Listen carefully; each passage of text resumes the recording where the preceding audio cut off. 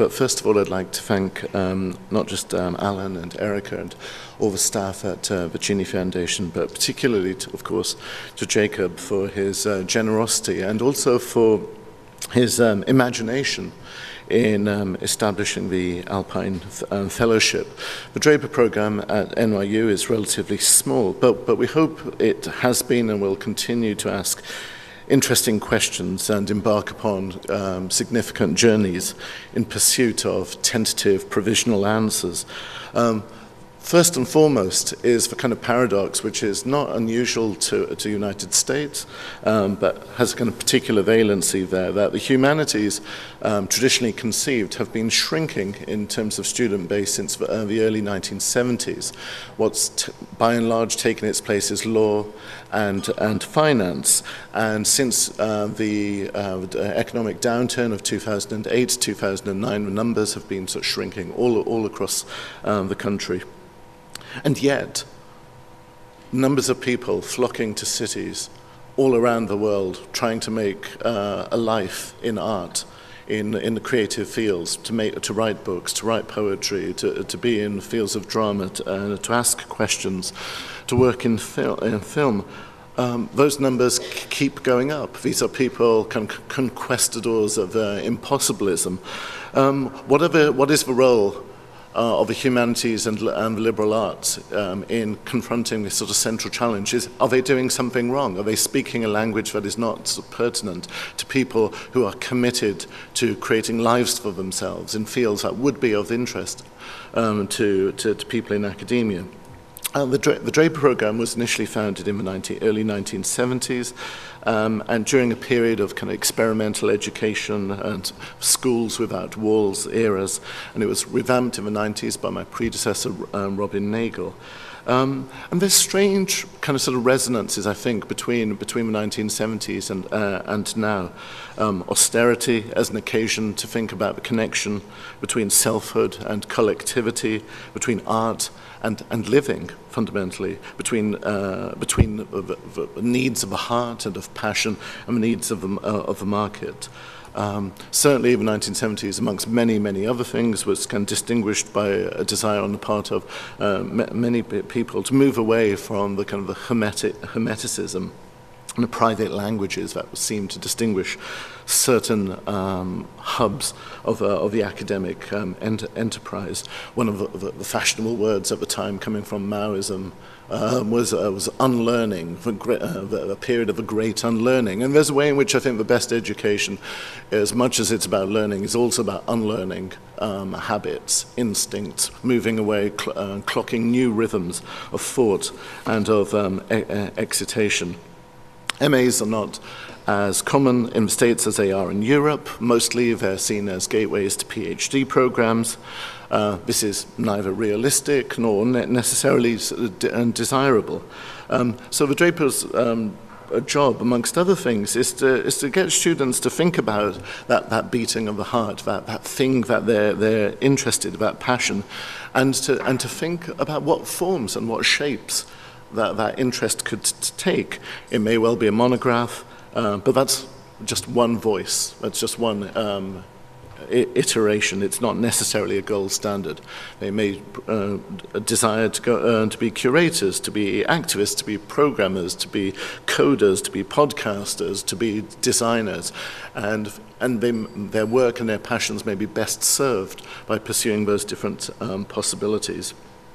Um, one of the, of the theme, of course, of this conference is um, ephemera, and, uh, and the poet uh, Fred Moten recently talked about academic time in terms of the industrialization of a class, the fixed model, whether it's 70 minutes or, or 90 minutes.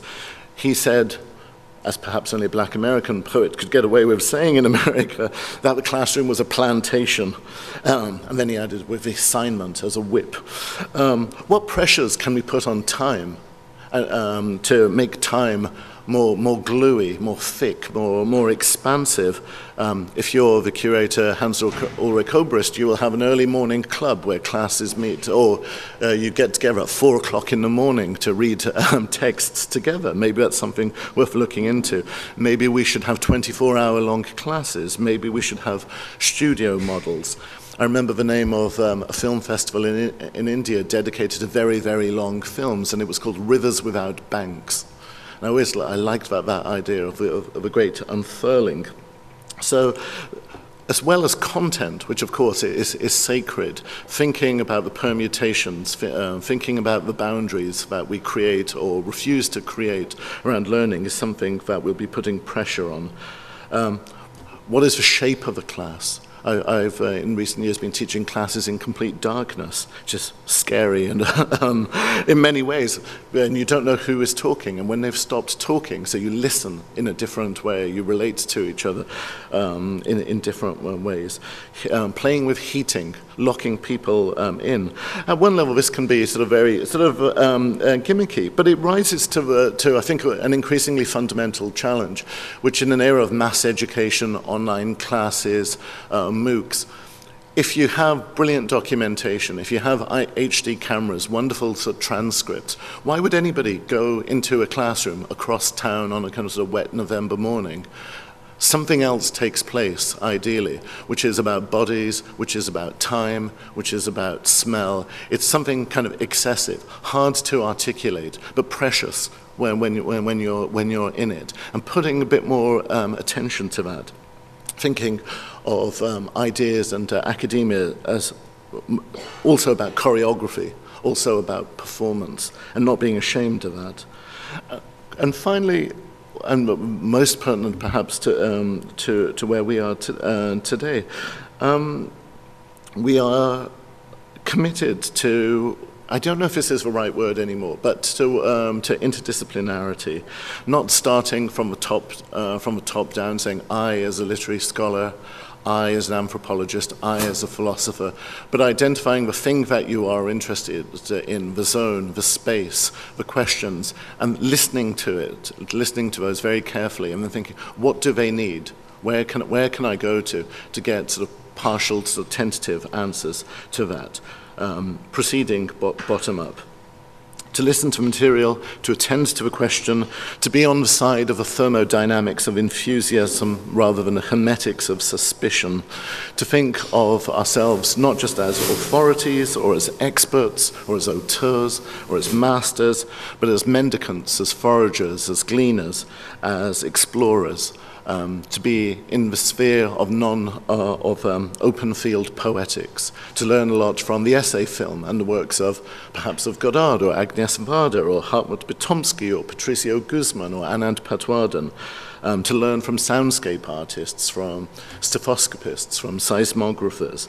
Um, and I think one, one, fundamental sort of change that's taking, we're in very slow or emergent steps of uh, a moment of, just as in the mid 90s, we all start, uh, many of us uh, began thinking of ourselves in terms of a visual turn. So uh, instead of writing, we, we started using um, computers and we became graphic designers by the default. Everything was mediated by the interface of, a, uh, of, the, of the screen.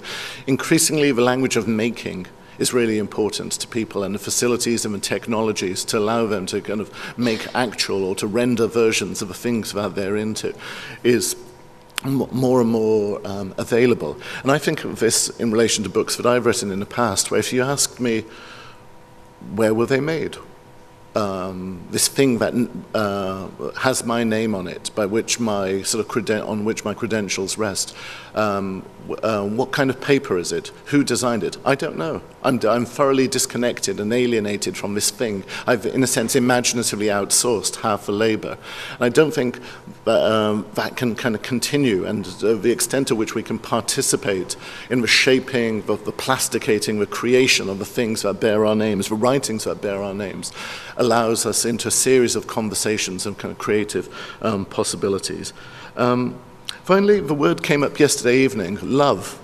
Um, And I think there's, there's a way in which you're never more yourself and you're never least yourself when you're in love. You're confused, you're possessed, you're vagrant, you're mad, you're, you're baffled, um, and you're open. And thinking about the, the, work that our program does and, and the work of the, of the humanities in general as, as, as basically about loving and being in love it's maybe a bit embarrassing, but I'm not, I'm not embarrassed by it. Um, this conference, um, this, in this very special place at this time of year, is uh, variegated um, uh, scène, uh, the length of its talks, the emphasis on conversation and on conviviality, the alertness and cru crucial importance to it of music and of poetry and of drama uh, mandala creation, um, is an exemplar and a kind of lodestar to, to us at the Draper program. And it, its spirit is something we uh, hope to take back to New York um, and seek to channel and to, to, and to revive. So thank you, um, Jacob, for allowing that to happen. And it's a great honor again to, uh, to be here.